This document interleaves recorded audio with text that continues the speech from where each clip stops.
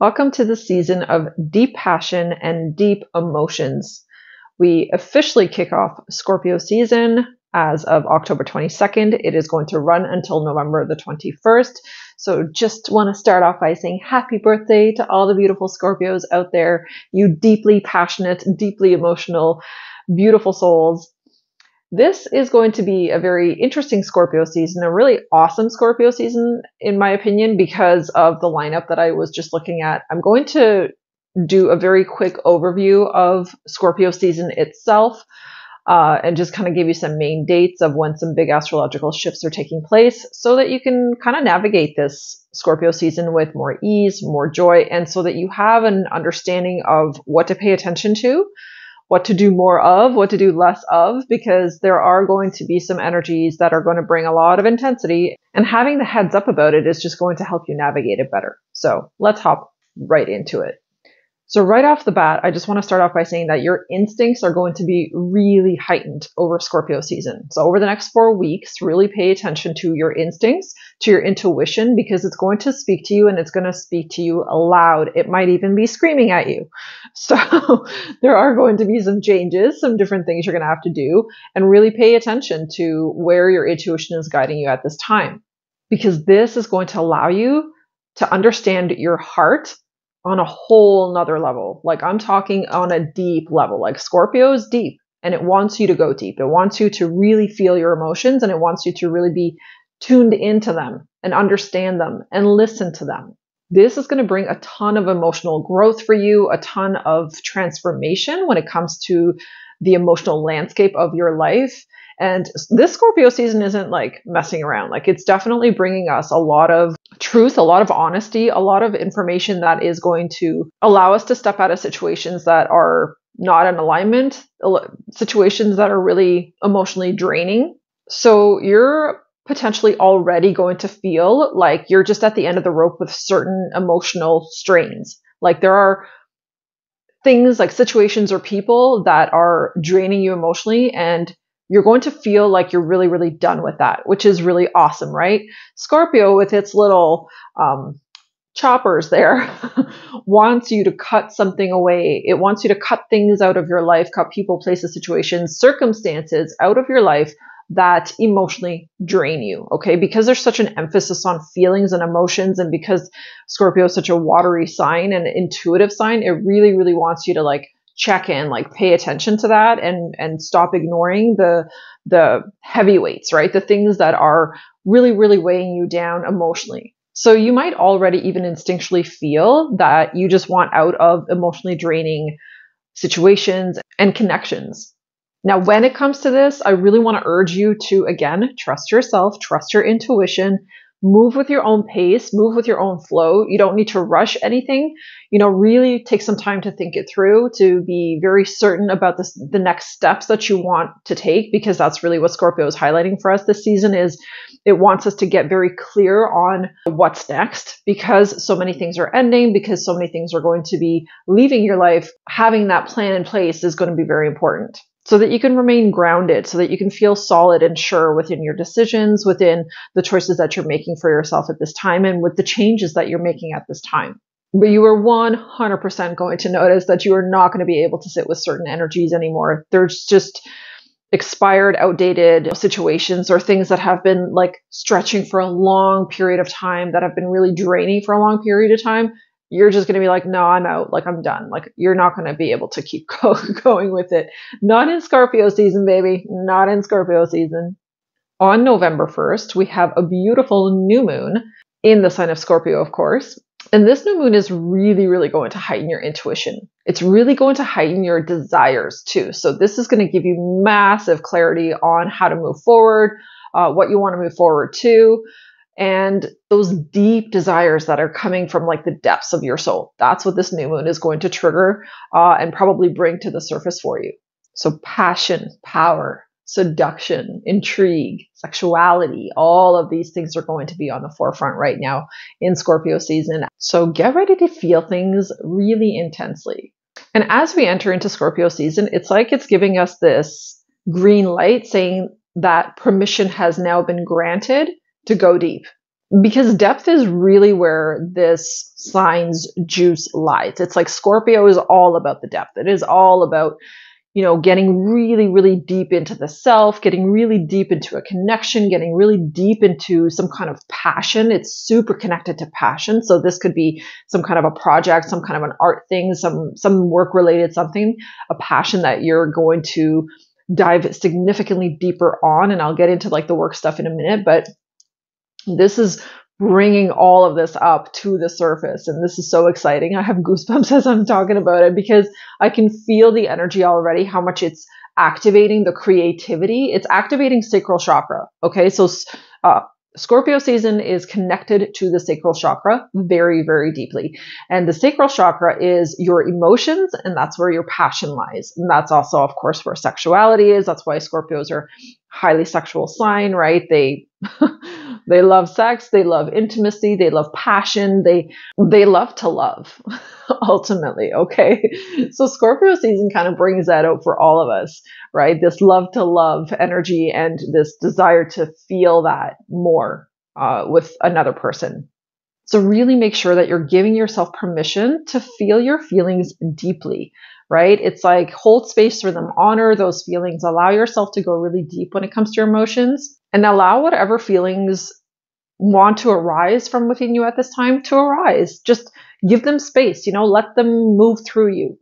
Scorpio also has this energy about it that it literally won't stop until it completely unpacks some type of situation. So it's going to be bringing that energy out of us as well, of course. And uh, this again can be channeled into work and into creativity. It can also be channeled into relationship. It's like getting to the bottom of something, right? Getting to the bottom of that project or or some kind of information that is missing for a project or getting to the bottom of that connection, that conversation, that um, situation that you're in with another person that really needs resolution at this time, that really needs to be looked at and dealt with. Scorpio wants you to get to the bottom of things. So it's going to inspire you to do that. There's no sign quite like Scorpio that is so willing to sit with uncomfortable insights to find, you know, penetrating truths, to find truths that are really meaningful. Scorpio is really willing to do that. It, it likes to sit in that sort of darker, heavier energy, but it, it does so with a deep sense of purpose. So Scorpio doesn't care how uncomfortable some kind of information is, as long as it has truth within it, because Scorpio absolutely loves truth and wants truth and loyalty from another. So as long as there is truth in it, it is willing to sit with uncomfortable information. It's willing to look at it, to digest it, to, you know, process it. So this energy again is just activating within us, right? Whatever the seasons are doing, whatever the signs are doing, whatever the energies are doing, that's what we're doing essentially on the inside, right? So this could be a time where you're willing to hear the truth at this point, as long as it brings some kind of resolution to whatever's going on. Scorpio season also stirs up this irresistible mix of depth, mystery, and confidence. So it's going to bring the depth and the confidence out of us. It's going to bring it forward. And it's also going to bring this, this sense of mystery, this intrigue, this desire to know more. So this is a really, really good time to do research. It's a really good time to get more information or more insight about something that you're working on or perhaps a business idea that you have that you wanted to launch. It's just a great time to dig deep on all kinds of different things. And simultaneously, you're also going to have the confidence to go for it. It's like this season, really use it to your advantage because this season is going to offer you this powerful confidence that you can tap into within yourself.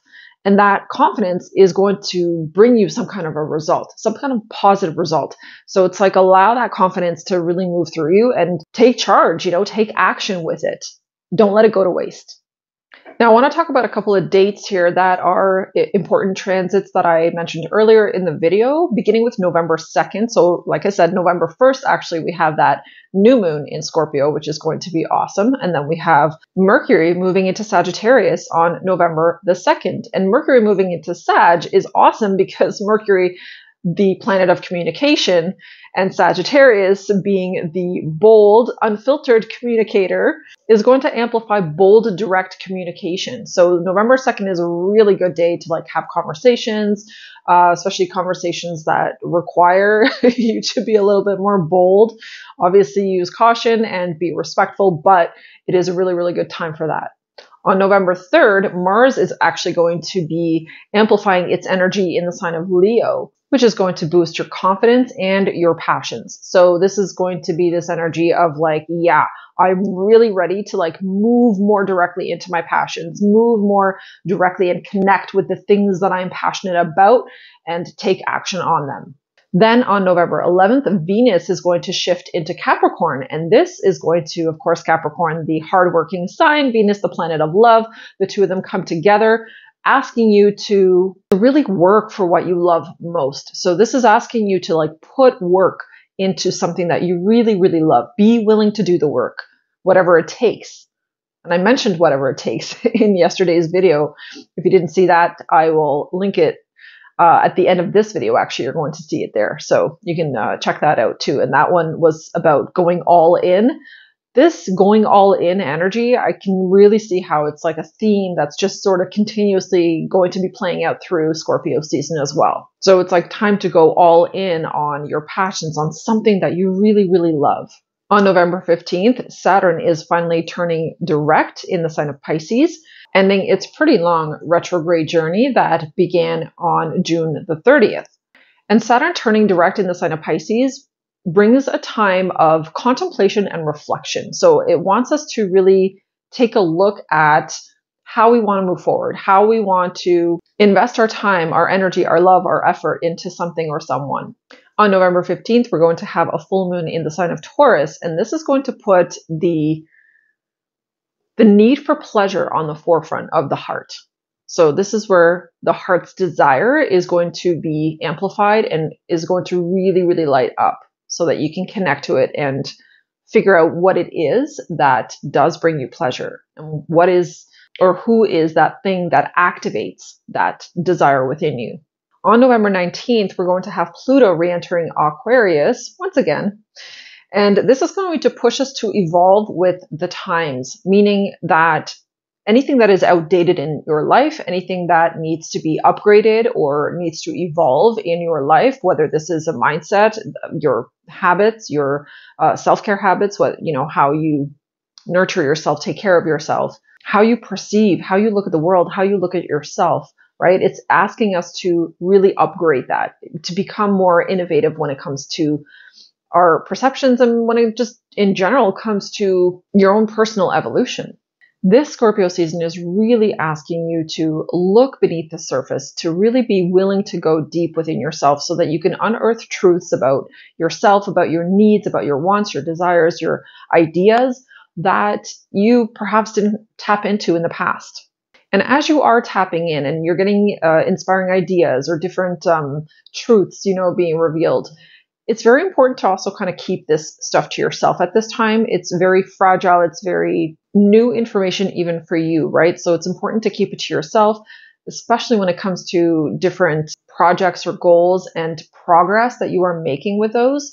Keep those to yourself at this time so that you can just prevent any negative energy or any jealous energy or anything like that from you know, interfering energetically with these plans, with these projects. Now, this Thursday, October the 24th, Mars is going to be sextiling Uranus, and this is going to give you a major boost when it comes to handling the hardest tasks on your to do list by inspiring you to get out of your comfort zone. So take advantage of this energy this Thursday and definitely check off some hard, difficult tasks on your to do list because you're going to have not only the confidence, but you're going to have just a boost of energy and a boost of a surety within yourself to get it done. And something to keep in mind because Scorpio season does tend to inspire vulnerability, right? So it, it because it is such an emotional sign, it allows us to become more emotional and to become more vulnerable. So when you are being vulnerable and when you are sharing, just be very, very mindful who you are sharing with, what you are sharing. So be very selective and be very respectful when you are sharing information, just to keep things to yourself that need to be kept to yourself and to make sure that you are creating balance as you are sharing and as you are being vulnerable and just making sure that you're not saying things to people, you know, vulnerable things that people that don't necessarily deserve to hear it or people that don't need to hear it. Now, on the other hand, the fearless, edgy energy of Scorpio season is going to help you to burn something away from your life. So this is like this, this no more fear and I'm just getting rid of this. I'm ending this cycle. So it's going to bring that forth too, which is awesome. Helping you to transform yourself, helping you to transform your lifestyle or your life in some kind of way. And when it comes to self care, I just want to mention a few things here. So be very mindful that Scorpio season can cause emotional burnout because it is so intense. It is so deep, it is so passionate and so all consuming that it can lead to emotional burnout, to paranoia, and even to jealousy. So just remember, stay balanced. Do not compare your life or your journey or your transformation or your anything to anybody else's. You are on your own path. And that's very, very important to keep in mind that comparison is absolutely pointless and it's only going to put you into the negative aspects of Scorpio. So stay out of that energy completely, mentally, emotionally, spiritually. And just to counter all of this emotion and to balance yourself out through Scorpio season, self care is going to be like a non negotiable. So keep that in mind. Make self care a non negotiable. Salt baths, steam rooms, saunas, all kinds of things, you know, water related, swimming, um, are going to be very helpful, very beneficial to wash things away, to help clear out these emotions. Taking walks down by the lake or out in the forest, even to ground yourself, to level yourself out, is going to be very helpful, especially when like the deep, more intense emotions arise within you. Even cold plunges and cold showers are going to be very beneficial, very helpful to stimulate and simultaneously regulate your nervous system. So try those out for self care during the next four weeks of Scorpio season to help you just balance and regulate. Now, Scorpio season can be a very, very productive period, especially if you harness this energy correctly and use it to your advantage. Like I said, innovation, a lot of new ideas and passions are going to be stirring within you. So really take advantage of that and zero in on your most important goals the stamina of Mars and the strategy of Pluto are really going to help you and support you through this Scorpio season to achieve your desired aim. So why not go all in, right? And in yesterday's video, I talked about going all in. Check that out. It'll be linked at the end of this video. Doing anything less would be completely unacceptable. So go for it. Have an awesome Scorpio season. Happy birthday to all my Scorpios out there. Much love to you all. Thank you so much for watching Hit a like on your way out, subscribe to the channel, and I will see you in the next video. Take care.